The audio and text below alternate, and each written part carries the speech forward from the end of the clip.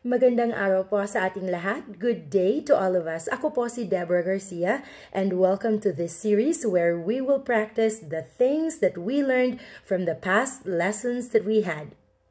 Today we are going to practice the things that we learned from this lesson from the Conversational Filipino series. I hope you still remember all of them. If not, go ahead and rewatch the video and of course, take down some notes. So, handa na ba kayo? Mag-practice na tayo! For our first activity, I created a Facebook post saying that I am looking for a house to rent. So, I posted, naghahanap po ako ng bahay na mauupahan. Gusto ko po yung may dalawang kwarto at malapit sa ospital. Pwede na po kahit sa basement lang. Wala po akong sasakyan kaya dapat malapit din sa estasyon ng tren. Hanggang 1,500 kada buwan po ang budget ko. Maraming salamat po. Alright, let's see if you can understand my post. So, I set this as a private post, but I shared it to one of my friends so that uh, we could see if how Facebook is translating my post to English. But of course, I want to see your own translation for this one. So I'll give you one minute to figure out what this post, what are the specific things that I wanted for a house in this post. So I'll give you one minute to do this. Your timer starts now.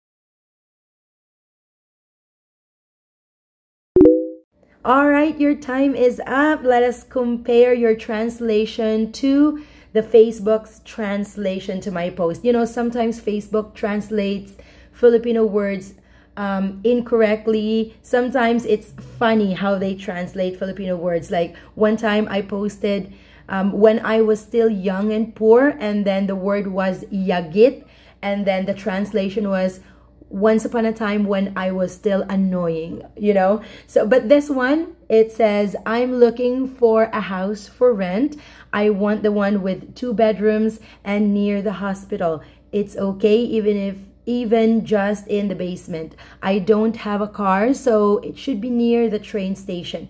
My budget is up to 1,500 per month. Thank you very much. I think this translation is perfect. So how about your translation? Is it the same or slightly different? But as long as you got all the information that's in here, then your translation would be fine. So let us go to the next activity.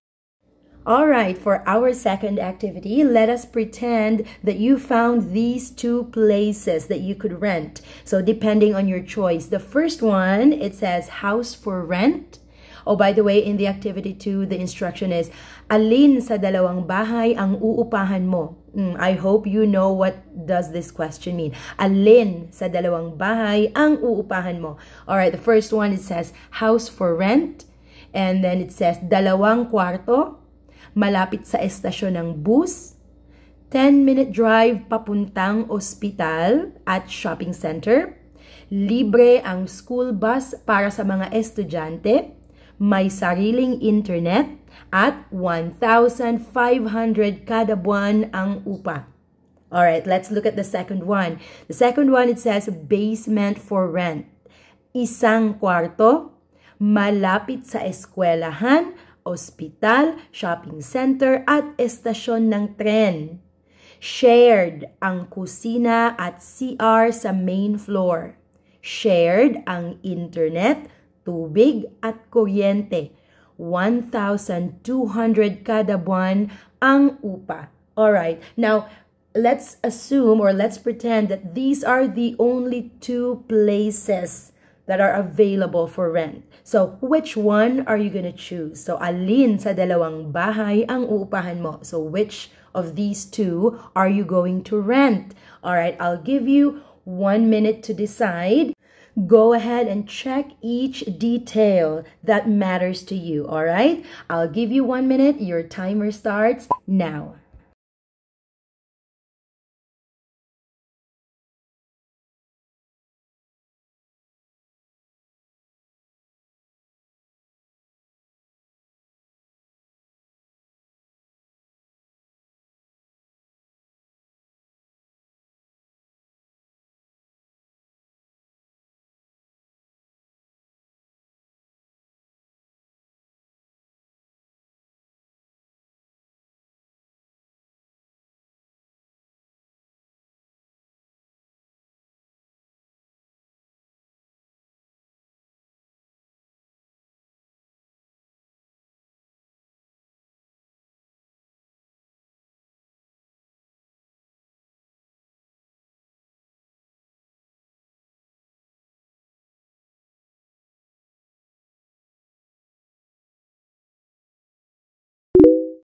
Okay, I hope you've already decided which house or which place are you going to pick for rent.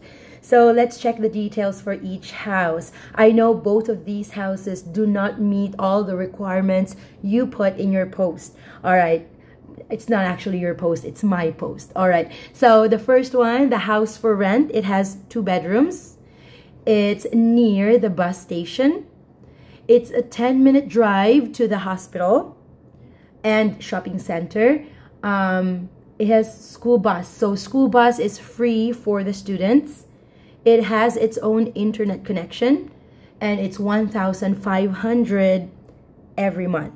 All right, the second one, it's for the basement. It only has one bedroom, but it's near the school, hospital, shopping center, and train station. However, your kusina, your kitchen, and your CR. You remember what CR is? Your washroom. It are in the main floor and it is shared, shared with other people, maybe other people living upstairs. So also the internet. Tubig is water and kuryente is electricity. So shared, the internet, water, and electricity are shared, course, with other people. And then but it's very cheap. It's 1200 every month. So depending on what's more important to you um, your decision will be needed for this one. I'm hoping that you will put your answer in the comment section below so just tell me the reason, answer this question. Bakit iyan ang napili mo? Why did you choose that? Maybe you can answer it in one to two sentences. So just tell me the reason. What are your preferences or why did you pick this place? Why is this more convenient for you, all right? So if you are enjoying our practice so far, if you think that my videos help you a lot in learning the Tagalog language, please do not forget to subscribe to my channel and give me a thumbs up. And that is all for today. I hope you enjoy learning the Tagalog language. See you again in the next practice. Bye!